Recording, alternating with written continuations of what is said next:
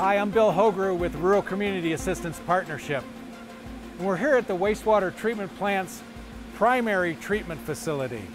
This is where the water comes from after it's preliminarily treated.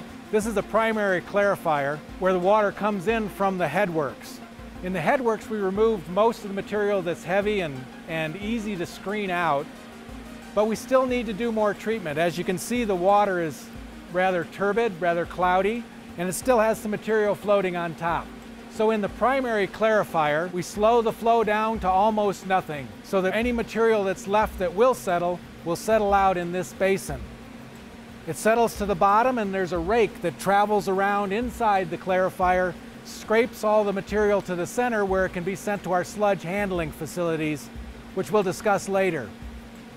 The clarified water flows over the weir, which runs around the perimeter of the tank and allows for an equal flow from the center of the tank to the outside of the tank.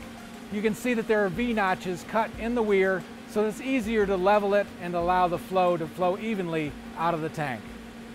Once the solids are settled out in the primary clarifiers, we call it primary sludge. It's pumped by the primary sludge pumps in the pump building on my right into the solids handling facilities, which starts with these sludge thickeners which are the round tanks on my left. This is the primary sludge pump station. Let's go inside and take a look. When the solids settle in the primary clarifier, they're below grade down at the bottom of the tank. We can't flow them by gravity to further treatment for solids, so we have to pump them. That's why this room is full of pumps for scum and for sludge to get it to that next treatment process. Scum is the material that floats to the top of the clarifier and is scraped off with the rake. And sludge is the material that settles to the bottom of the primary clarifier.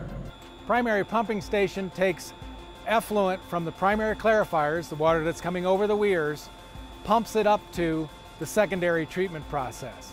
You only need that if you don't have gravity flowing between the primary treatment and the secondary treatment. Some treatment plants are designed without primary treatment so that the secondary treatment handles all of the organics removal.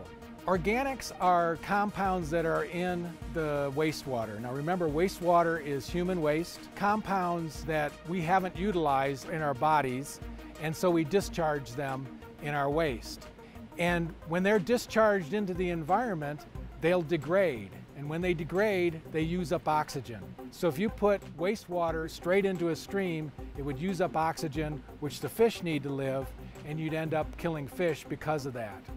The wastewater treatment plant does exactly the same thing as happens in a stream, but it does it in tanks and in a controlled environment so that we can treat our wastewater and protect the environment and protect uh, human health.